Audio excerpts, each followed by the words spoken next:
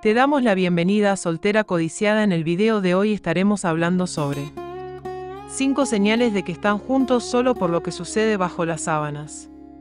Si tu pareja y tú no pueden salir de la cama, podría ser una señal de que están juntos solo por el sexo.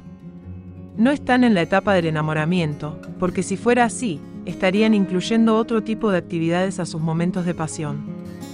Disfrutan del sexo, se divierten y gozan, pero no se están conociendo y tampoco tienen una relación estable. Solo están disfrutando de lo que el otro tiene que ofrecer, pero de una forma sexual. Siguen juntos, porque no quieren soltar esos momentos de placer y estas acciones lo comprueban. 5 señales de que están juntos solo por el sexo.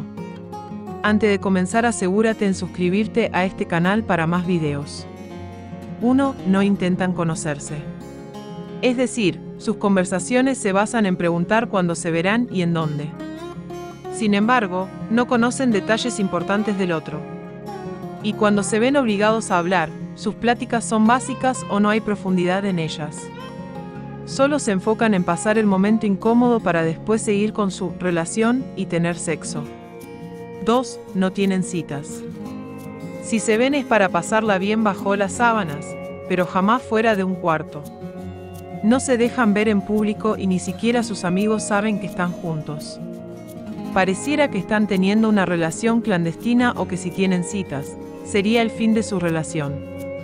3. Arreglan los problemas en la cama. Nunca hablan de los conflictos que tienen su relación y tampoco resuelven los malentendidos. Simplemente proceden a la cama a tener una batalla de pasión. Incluso, pueden pasar días en los que no se hablan ni se ven, pero regresan para darse un momento de pasión y deseo. 4. Te sientes solo. Te darás cuenta de que no estás en una relación real y sana, porque no tienes su apoyo. Sí, está para cuando quieres sexo, pero desaparece en los momentos importantes de tu vida.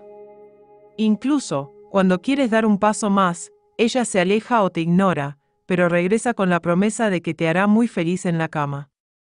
5. No tienen nada en común. Llevan meses de conocerse, pero en realidad no sabes qué le gusta, qué hace en su vida, en donde trabaja o historias importantes de su pasado.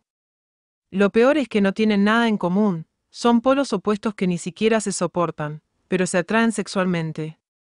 Hasta aquí el video de hoy asegúrate en suscribirte a este canal para más videos.